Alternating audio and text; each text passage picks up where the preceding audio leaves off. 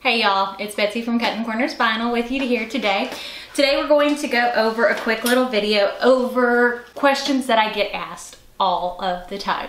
Um, I figured this would be something kind of fun and maybe informative um, over the different processes and things like that that I use. Just something a little bit different. Um, as you can see, I'm feeling pretty good I can breathe. Um, so Thursday it'll be two weeks since my surgery and there's not much difference whenever you're looking at me. It, I still look the same. I didn't want my nose job. I just wanted to be able to breathe and not to get sick. But, you know, I'm feeling good and now we're getting back on schedule and I'm going to try to get more videos out to you weekly anyway. If there's any ideas or any projects that you want to see, leave it down in the comments below. I will do my best to make sure that we knock out as much as we can for you. So first things first, we're gonna go over some of the questions I get asked all the time. And I have a little notebook in front of me that I wrote down a bunch of them so that way I can let you know. First one is, do you need to seal Oracal? Okay, here's the thing with the Oracal is it is a permanent outdoor adhesive for 651. 631 is not a permanent adhesive. So if you're wanting to make it permanent, yes, you need to seal it. Uh, you can either use like a polyacrylic. I seal, if I'm going to seal anything, I typically seal with Mod Podge. I love Mod Podge.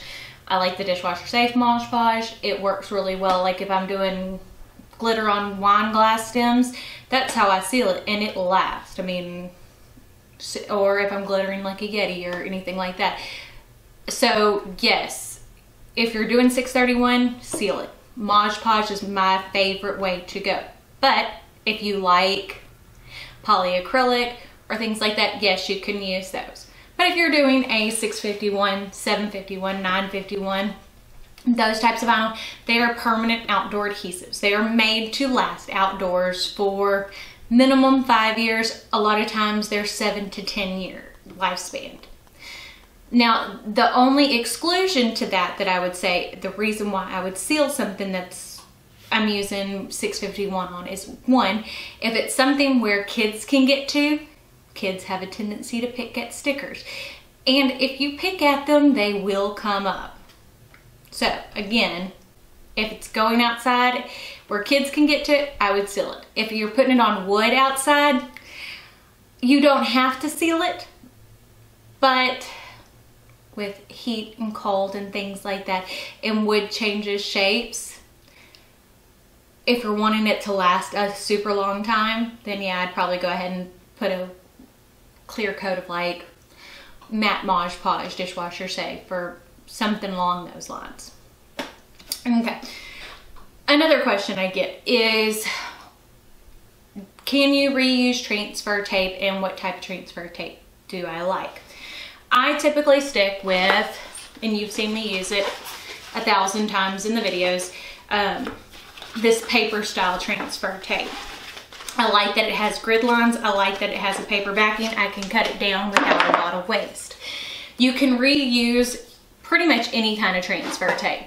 And I like that this is more low tech. It's a little bit easier to remove. It sticks, but it's not like a harsh stick. Now I have like the clear kind. This stuff's old because I don't use it. I mean, it is not my favorite. As you can tell, with it being stuck to itself, it's very hard to get a tiny little piece of whatever you need. So if you're gonna cut it down to the size you need, and then you're trying to make it a bigger piece, it breaks pretty easy. And then it's super sticky. So whenever you're putting it on a surface, I mean, the high tack, this is a whole lot stickier. So to me, unless you're doing like a super glitter that like say you put HTV on adhesive and you're needing transfer tape on it, which at that point you probably shouldn't since it's so thick. something like this works better, but for the most part, this is all you need. And you can reuse it. I have pieces stuck to the wall because I save them and I reuse them all of the time. One of the things about it too is I like that you have the paper backing. You can take and if you're a perfectionist, you can put it back on there and save it that way. And it just makes it easier when you're taking it off the roll or whatever. Again, it's all personal preference. Another question I get all the time is what machine do I use to cut my vinyl? Well, first things first, we'll go over all of the different machines I actually own. I have the Silhouette Cameo 3. I have the Cricut Explorer Air 2. I have the Cricut Maker. Um, I have my Brother DTG, which DTG stands for direct to garment. So it's kind of like screen printing, but it prints directly on the shirt for photo shirts because whenever you're using like printed vinyl, a heavy transfer can get a little bit heavy. So if I'm doing a photo shirt, I would much rather use my direct garment. I have my Hotronix Air Fusion, which is the heat press you see me use all the time, and that is a 16 by 20 inch heat press.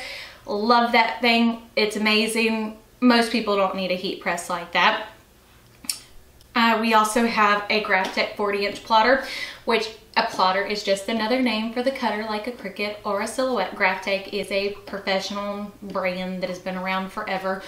Great brand for if you're wanting to move into making big signs because 40 inches is a lot. And then you have to order, you know, huge rolls of vinyl to be able to cut. Um, also have a Roland VersaCAMM printer, vinyl printer, and that's what we use to print banners when we're doing printed and laminated decals and when we're doing printed HTV or printed Oracal, those types of things. That's what we use the Roland VersaCAMM for. Um, I do not print my vinyl on a home printer. I have not found a good printable home vinyl. I get asked that question all the time. What vinyl do I recommend for you to print at home? None at this point. I have not found one that will hold up to washing. Um, but I mean, if you know of any, please let me know. I will gladly try them out. And if I can find something that's cheaper to recommend to y'all, I gladly will. But at this point, I haven't found a, anything that works well for at-home use my personal preference, my personal opinion. I mean, and I get people who bring in transfers and stuff like that that have been bought on Etsy that are printed on home printers and they just, I mean, you don't get the contour cut if you're doing like a birthday shirt for one thing. Uh, some of them can only go on light shirts and the ones for dark, it's so thick and papery. I just, am, I'm not a fan. So even if it does hold its print, the way that it feels and the, for when you're washing it and things like that, I'm just not the biggest fan of. It. Let's see, what else?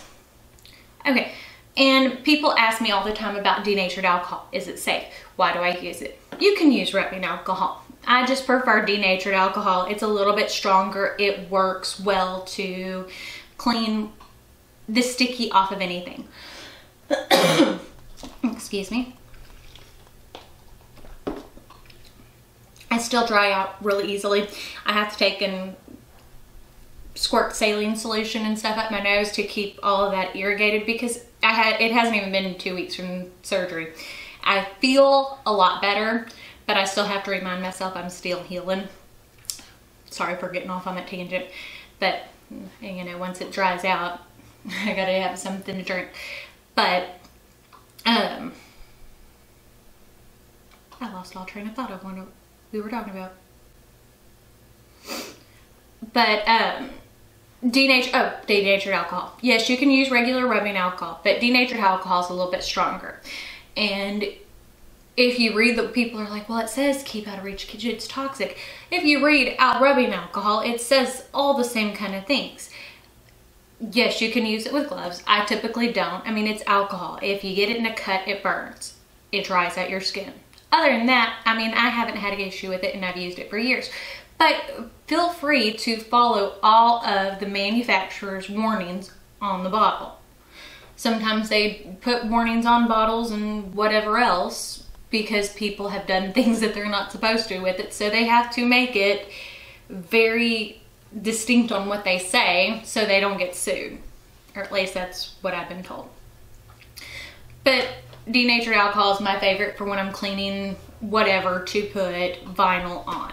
Or if I'm taking vinyl off. It's great for getting rid of the sticky, the leftover adhesive.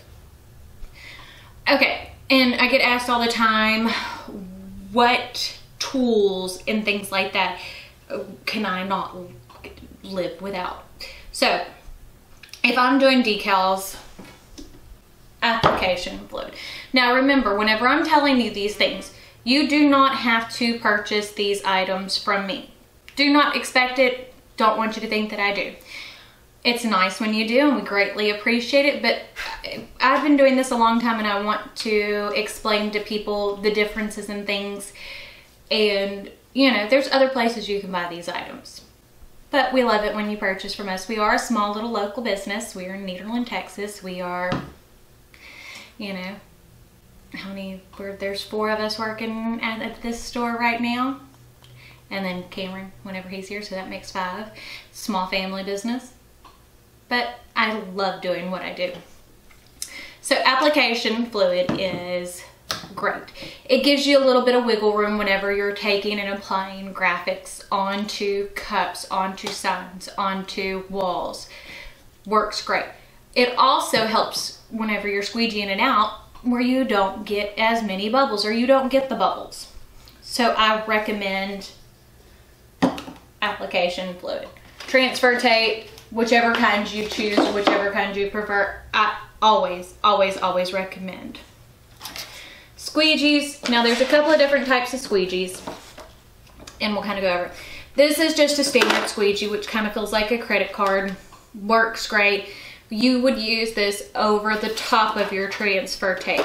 Now, if you take and are applying like big graphics or you've gotten a bubble and you're wanting to apply the vinyl without a transfer tape over it, you definitely need a felt edge squeegee. That keeps you from scratching the vinyl because you can see scratch marks on it. Felt edge squeegee, that's what that's for. Is to go over the top of vinyl so it doesn't scratch breakaway blade, X-Acto knife, those types of things. I cannot live without. You can get these pretty much anywhere. The Easy Weeding Wooden Pick. You use this or any type of pick whenever you are weeding your vinyl, which works with heat transfer and with adhesive, which adhesives, like, and if you look at our website, I don't list brand names because I use everything that we stock on our website or in stores all permanent professional vinyl. We, for our adhesives or sticker vinyls, we stock Oracal 651 for the basic colors. We For our Oracal metallics, we stock Oracal 951. Our neon colors are Oracal 6510s. Our glitters are FDC Ultra Metallics. So that gives you kind of what we use. For our heat transfers, we do Siser EasyWeed. We use ThermoFlex Plus. 90% of my glitters are going to be specialty materials glitters because they offer about 30 or 40 more colors than any other glitter manufacturer. So, and they all work wonderfully. But that's what we stock easy wing one pick. Whenever you order one, and I get this question all the time too, or I get emails, it's missing the pick. So if you look, when you take it out of the tube, most of the time they're shipped in a tube. Sometimes whenever they come to me, they don't have the tube. So you'll either get it in this tube or you'll get it just like this. Now, if you look at it, you cannot tell that there is a tip on it. It's got a cork over the end. So all that you do is you remove that cork and then you've got this sharp little nice straight little point. I prefer this over any other pick and the main reason is, is if you notice how I do it, I hold my pick like a pencil. And I've been weeding a long time. That's part of the reason why I weed so fast is because of the way I hold it. That's why I prefer that one. But if you prefer the hook through Cricut or Silhouette, you're more than welcome to go ahead and use it. This is just my preference. For heat transfer, now there are several things that I definitely, I mean, other than the vinyl itself that I recommend. You do not have to have a fancy heat press. You can use a home iron. The Cricut Easy Press, I have seen great reviews on. I'm fixing to order one because I would like to have one to be able to do big tablecloths. I thought that might be kind of fun to have to be able to do bigger projects. But Teflon sheet. I always recommend a Teflon sheet. You need to be able to protect your shirt and you need to be able to protect the bottom of your heat surface. So Teflon sheet, in my mind, is a must.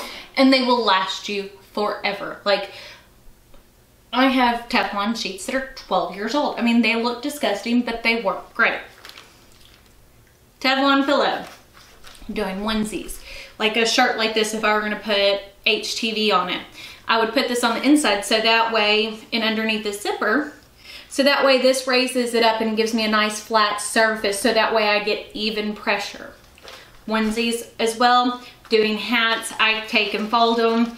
I will take and use the heck out of me. I mean, you can see I use it, but it doesn't lose its thickness and it doesn't mess it up. So you can take and bend it however you want.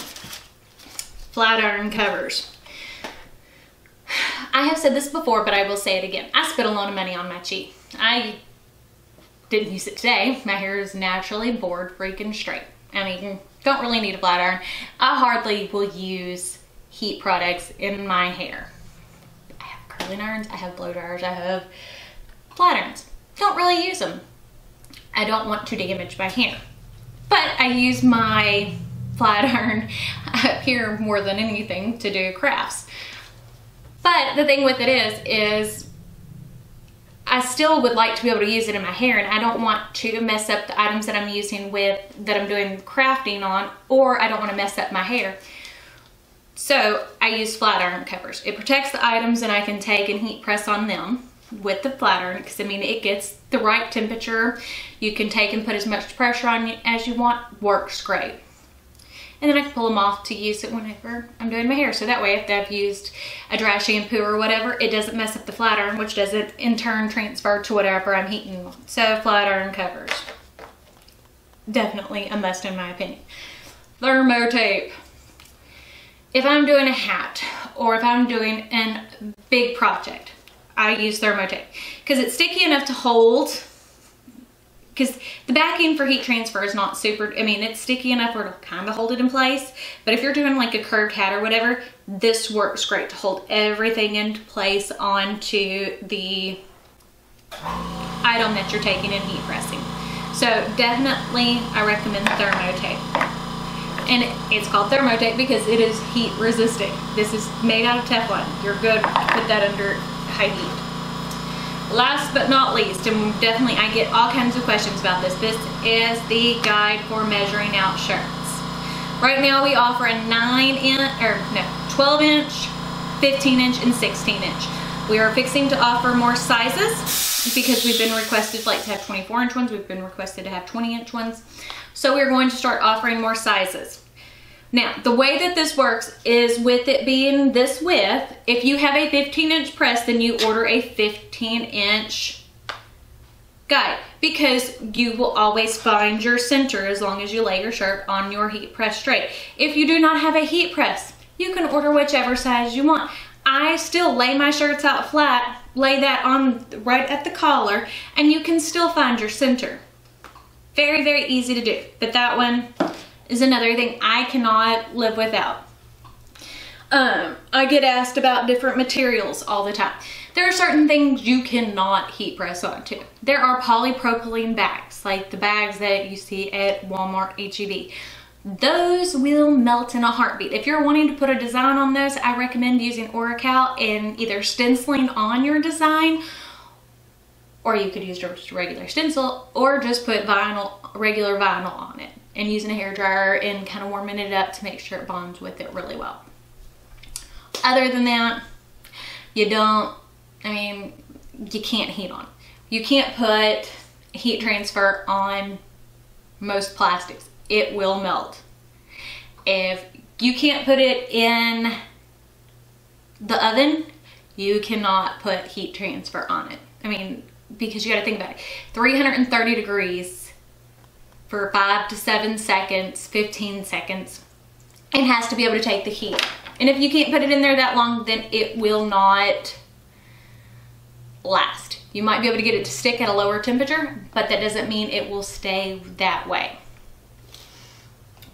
So again, heat transfer, no, no on plastic. But Oracal will go on there and it will last. You just need to make sure you apply enough pressure and let it cure. It's a phrase I like to use. Let it sit for at least 24, 48 hours before you start messing with it. And that gives it a chance for that adhesive to really bond with the plastic. I also take, and whenever I'm applying Oracal to like a plastic water jug, I will take and heat it up with a hair dryer and it gets into the grooves and it bonds really well. Cameron's water bottle, I don't have it with me today because he uses it every day at soccer. His vinyl that I put on it a, almost a year ago still looks great because, you know, I took and applied the hair dryer and made him wait 48 hours before he used it, you know, and he's a kid. Again, it's all on personal preference. And if you like this type of video, please let me know. Give me a thumbs up. If you don't like it, give it a thumbs down. Uh, leave comments down below of what types of videos you'd like to see, what types, if you have questions about what type of material to use, what on, please leave it down below. Or if you have any questions about how to apply it to sleeves or anything like that. We're trying to expand on our video series and make sure that we are answering all the questions that y'all have. Also remember that we will be doing our next scrap box drawing on November the 4th huge box this time.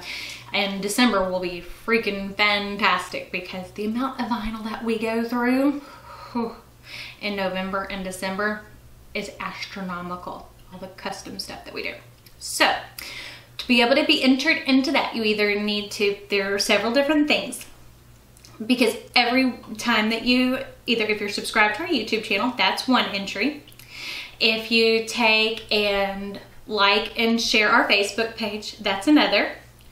If you take and um, follow us on Twitter, Instagram, Snapchat, those are all entries and any purchases made online or in store give you additional entries into the scrap box drawing. I guess that's it for today. Thanks and y'all have a great day.